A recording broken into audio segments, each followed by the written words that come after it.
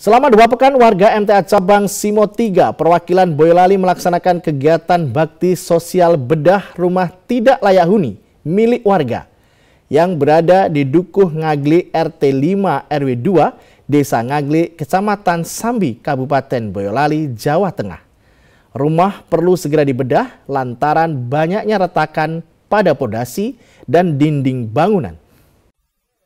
MTA Cabang Simo 3 perwakilan Boyolali melaksanakan kegiatan bakti sosial bedah rumah tidak layak huni milik warga yang berada di Dukuh Ngagli, RT 5 RW 2, Desa Ngagli, Kecamatan Sambi, Kabupaten Boyolali, Jawa Tengah.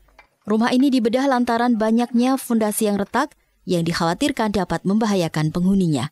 Selain itu, juga terdapat banyak retakan pada dinding rumah akibat kondisi tanah yang relatif labil.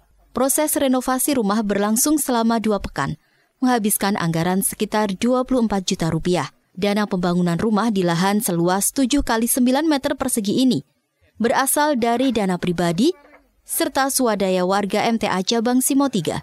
Ketua MTA Cabang Simo 3, Wahid Hashim mengatakan, bedah rumah ini perlu segera dilaksanakan, mengingat kondisi rumah yang semakin rapuh dan rawan roboh. Ia menambahkan, bedah rumah ini merupakan wujud pengamalan hasil mengaji yakni sikap saling menolong kepada sesama yang membutuhkan. Secara kemanusiaan memang saudara kita ini perlu ditolong karena rumahnya ini sudah begitu lama rapuh dan hampir roboh. Oleh karena itu kalau kita dapat perbaiki bersama dengan persatuan kita, nanti bisa keobuan yang punya.